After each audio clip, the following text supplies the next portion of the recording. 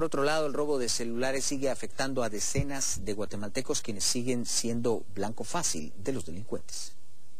El robo de celulares, por mucho, es uno de los delitos más comunes en el país. Por ello, se evalúa incrementar las penas y sanciones a quienes se dediquen a despojar a los ciudadanos de sus aparatos por medio de la iniciativa de ley de registro móvil.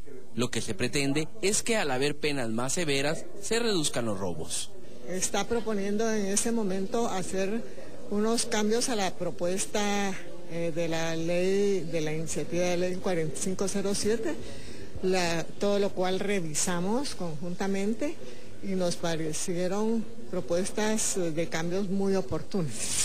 Datos del Ministerio Público dan cuenta que por el robo de celulares se han presentado 5.556 denuncias. En enero se reportaron 659 casos en febrero, 550 en marzo, 649 y en abril el mayor número de denuncias con 698. Byron Ramírez, Azteca Noticias.